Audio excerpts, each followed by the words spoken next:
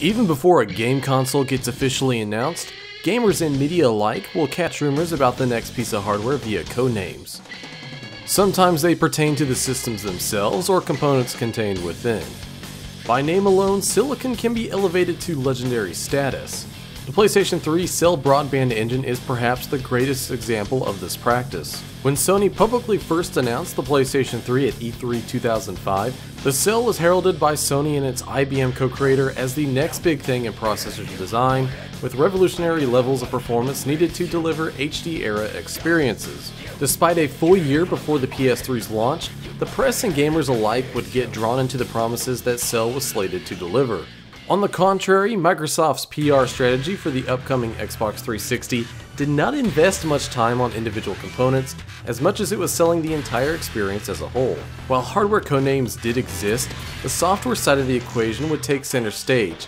There they would focus on games and of course Xbox Live. However, it's not to be understated how important the Xbox 360's hardware was for delivering Microsoft's promises. The Xbox 360 had 512 megabytes of GDDR3 memory, a revolutionary new ATI developed GPU called Xenos, and at its heart an IBM developed triple core processor that was configured to deliver a breadth of new possibilities for a new generation. It was codenamed Xenon.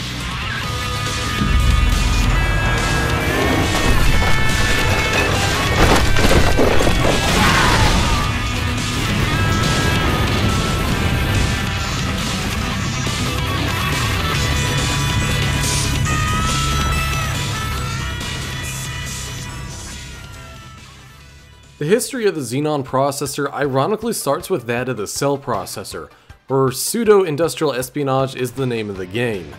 IBM would have its hands in all three honeypots of the 7th generation, with some common technology being found across all three systems. Specifically, it's the main processors in the HD Twins that share a common lineage, and not just in their PowerPC instruction set compatibility. In 2001, Sony, Toshiba, and IBM came together to design the Cell Broadband processor in the vision of Sony's Ken Kutaragi, the man who initially pushed Sony to enter the console business in the first place. Designed for streaming and manipulating data with a field of independent SIMD vector engines called the Synergistic Processing Elements or SPEs, the Cell could achieve floating point performance multitudes higher than traditional processors of the time. In this manner, the cell was well equipped to handle a massive scope of graphics, physics, and a host of other processes entirely dependent on this floating point capability. As great as the SPEs were, they could not get by entirely on their own, as they did lack some features found in more traditional processors. To lead the SPEs, IBM developed the power processing element to act as the cell's command core. In contrast to the SPEs, the power processing element, or PPE, was a full-featured PowerPC compatible core leveraging some design tools used for the PowerPC 7400. The PPE in essence is a very stripped down, dual issue, in-order PowerPC core.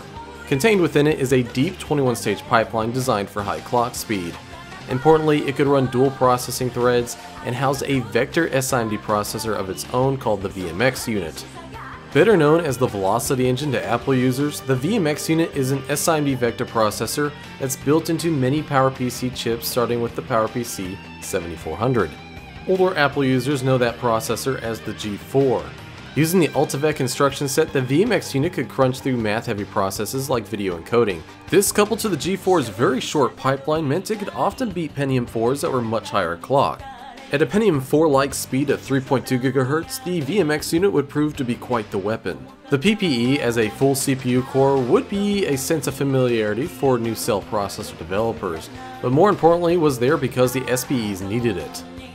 The PPE was a full processing core within a fairly small footprint, had a high potential clock speed, low power consumption, and that all-important VMX unit. Which leads us back to what Microsoft was up to by the time the STI consortium was finalizing the cell design in 2003.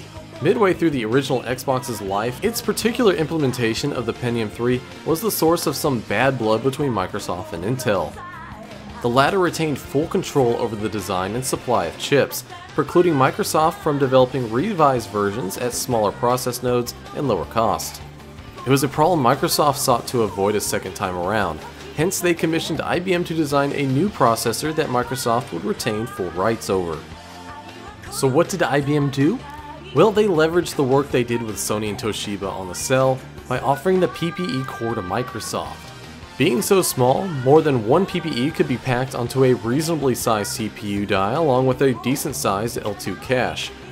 The high 3.2 GHz clock speed, the dual multi-threads per core, and the all-important VMX unit were attractive for a gaming console, where vector performance was a premium, yet it still had a reasonable semblance of features found on more traditional CPU cores, unlike the Cell with its all-vector or almost nothing approach. Microsoft was also focused on how SIMD vector performance could enhance or complement memory saving techniques on this new machine, notably via dynamic streaming and procedural generation.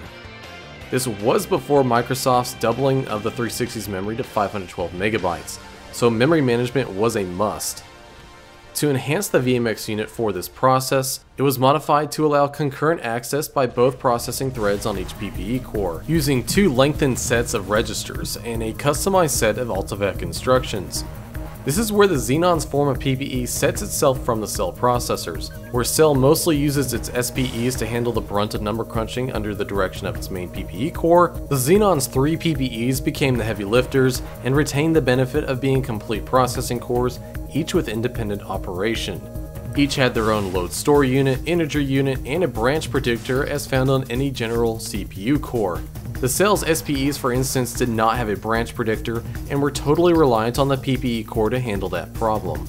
Both the Cell and the Xenon had their merits, but Xenon's more traditional setup was closer to the multi-core environment of dual-core CPUs in 2005. However, the inherited narrow design structure of the PPE was lacking in non-VMX capabilities.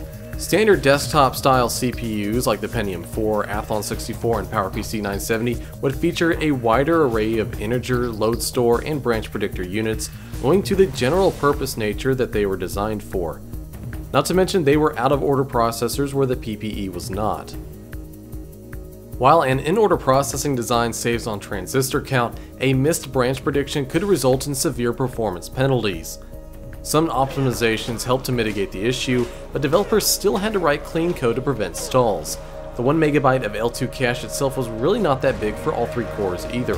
But with 3 PPE, Xenon had arguably a better balance of computing resources specifically for gaming, and consequently required fewer transistors than big multi-core PC parts. Even counting the 1MB of L2 cache, Xenon came in at just 165 million transistors, about the same as a single-core Athlon 64 and it clocked to 3.2 GHz with some measure of efficiency, unlike most early dual-core CPUs. For example, IBM's own PowerPC 970MP, used in the final PowerPC Mac Pros, required liquid cooling just to hit 2.5 GHz. By the launch of the Xbox 360 in late 2005, big single-core processors were still the standard by which PC games were designed for, but the first multi-core games were starting to appear. These games were still entirely designed with the performance of one core in mind, but the arrival of the 360 would give developers the impetus to push the CPU side of games. Learning to cope with the narrow cores of the Xenon and learning to multithread in general would be a sore spot for many game studios, especially those used to the wide execution PC processors. Eventually developers would learn to design code that would spread amongst the three processing cores as needed, yet still took advantage of the Xenon's massive vector potential. Luckily for the Xbox 360 ecosystem, development would be nowhere near as fraught as the mass struggle on the PlayStation 3. The cell's singular PPE core would require using the SPEs and stream processing to maintain parity in many aspects. Ironically, the same stream processing techniques that were required on the PS3 would come to benefit the Xbox 360. Both Cell and Xenon could bypass their L2 caches and stream data directly to the VMX unit registers, and in the Cell's case, directly to its SPEs. From the VMX unit or SPE processed data could be immediately sent to the GPU, such as data for procedural generation. To the 360's advantage, it was never reliant on its CPU to maintain graphical parity like the PS3, which would have created issues importing 360 games to the computer. Bare minimum, Xbox 360 games could be recompiled for the PC and brute forced without too much trouble, as both platforms leveraged DirectX. Owing to Xenon's great vector performance, it's not all surprising that later multi-platform games on the PC needed a higher-end dual-core or a quad sometimes to run smoothly. Poor performance on PC was often chalked up to poor optimization, but a good part of that was thanks to Xenon competing well where it counted. devs were wringing out every bit of latent performance they could get from the system while dealing with the constraint of 512MB of memory and the 240 GFlop GPU. But late generation games like Titanfall, Battlefield 4, Assassin's Creed Black Flag, and most certainly Grand Theft Auto 5 truly showed what the already 8-year-old 360 could do. These are all physics and animation heavy titles.